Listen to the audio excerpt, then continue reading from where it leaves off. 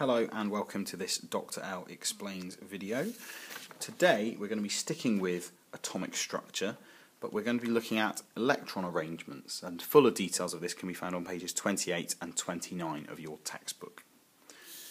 Our classical atomic picture, one we've seen in the last two videos, our nucleus at the centre, our protons and neutrons in the nucleus, our electrons going around the outside, very much like the uh, nuclear symbol you see at the uh, start of every Simpsons episode, is all well and good. However, for our GCSE atomic picture, we need a little more detail, and we're going to look at that now.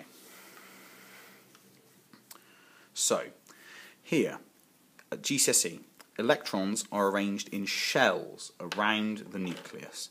We can see these shells here in the diagram of our example sodium that we're going to move out, about to move on to. Our shells, we should note, are also called energy levels. Energy levels. The lowest energy levels are those closest to the nucleus. The highest energy levels are the ones furthest from the nucleus. Next point to note electrons fill up from the lowest available energy level outwards. So, for sodium, our example, sodium is element number 11, atomic number 11 therefore 11 protons, and as atoms are neutral, 11 electrons. Into our first shell go two electrons. The first shell can take two electrons only.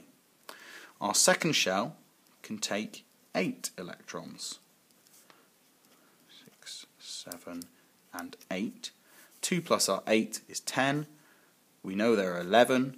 Our one final electron goes in the highest shell there on the outside.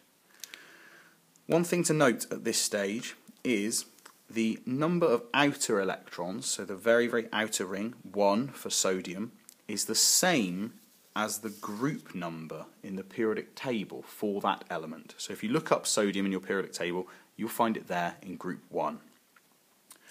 Similarly, or the same for all elements, I should say, let's look at example number 2, which will be neon. Now, neon is element number 10, one before sodium. So again, our nucleus in the centre, our first shell takes two electrons, and our second shell for neon, one, two, three, four. 2 plus 8 is 10. That's the entire amount of electrons that neon has. 10 electrons. 10 electrons for neon a full outer shell, the most electrons the second shell can take is 8. Neon is a noble gas. It, it sits in group 0 of the periodic table on the far right hand side.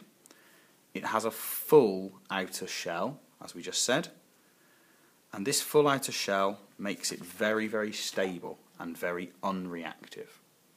Thanks for watching. See you next time.